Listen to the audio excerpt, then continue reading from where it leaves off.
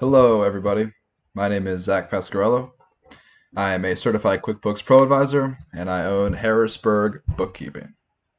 I already made one video today and I don't normally make this many videos. Definitely don't usually make two videos in one day.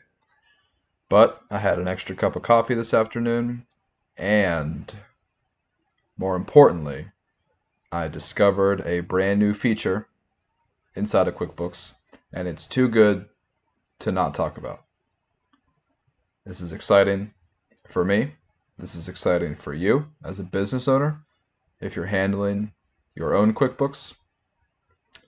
And if you are a future business owner thinking about getting into business, I highly recommend QuickBooks. It's 20 bucks a month. You can manage your own accounting and finances very, very easily in the beginning. If you've been in business for over a year, your business is getting more complex, you're getting busier. You might not be able to do it all yourself, but if you're just starting out, you can absolutely do your own bookkeeping. I recommend it. The first six months, save on expenses, understand the finances behind your business, and do the bookkeeping yourself. It's not that hard. It's definitely not hard. It's just time consuming. Takes a lot of time. But this new feature going to save everybody, you, me, bookkeepers, accountants, business owners, going to save everybody a bunch of time. So I'm going to jump right into it. A new QuickBooks feature. One caveat: it's only available for advanced subscriptions. It's only available for advanced QuickBooks Online Advanced. So if you have Simple Start, Essentials, or Plus, you will not have this feature. But if you have the advanced online version, you will have the ability to utilize what's called batch transactions. I've never used it before. I've never seen it before. This is brand new to me, probably brand new to you. So I'm going to talk about it.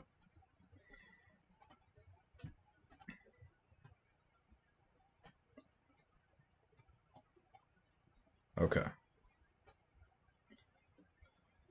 QuickBooks Online. Everybody's familiar with this. Okay, so you go to the plus new button and all the way over here in the bottom right hand corner, other batch transactions. Once again, this is brand new to me.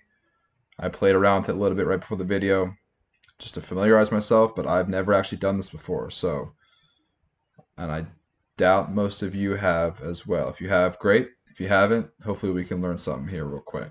So you can do anything. You can do invoices, bank deposits, checks, expenses, bills. If you write your own checks, if you print your own checks directly from your computer and from QuickBooks, I'm going to do expenses. So this is cool.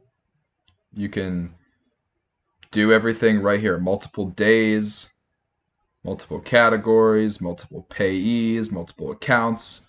So I'm going to do three, for example. So let's say you're going to, you have an expense to Adobe. Let's say you have an expense Amazon.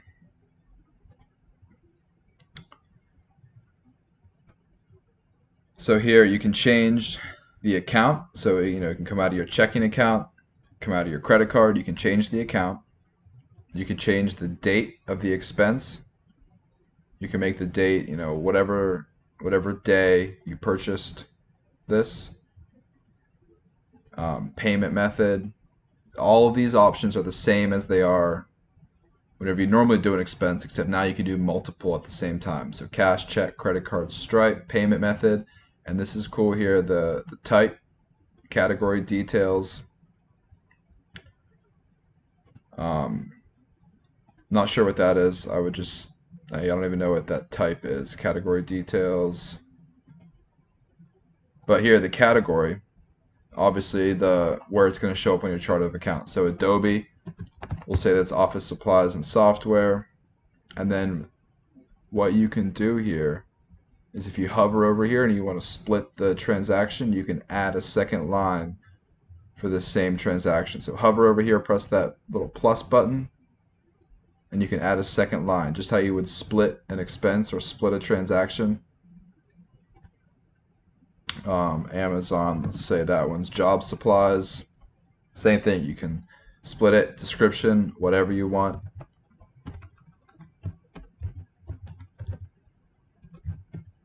Annual subscription for the description, and then Amazon will say paper amount. So you know, however much you spent at Adobe, we'll say 19.99, and then paper we'll say $75.49 and then all the options are the same. Billable yes or no are you going to bill your customer or client for this expense? Just check that box.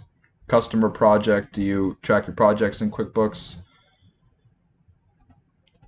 And then this would be for an invoice or a receipt or a bank deposit but this is an expense so this product service subscription quantity rate amount that's not applicable for this and then you can make the memo whatever you want.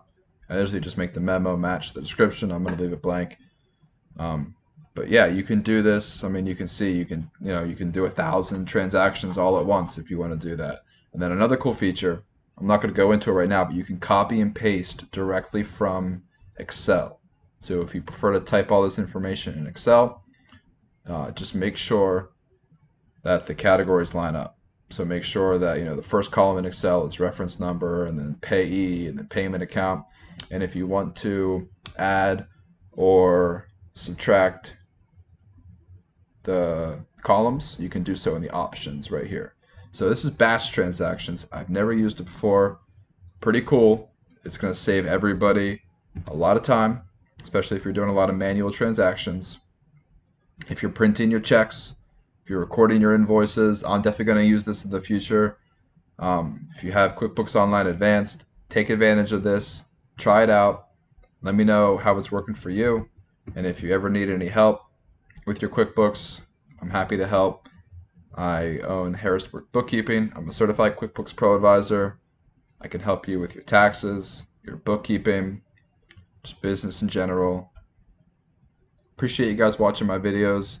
And stay tuned for the next one. I will continue making these QuickBooks tutorials, and I will see you all in the next video. Have a great day.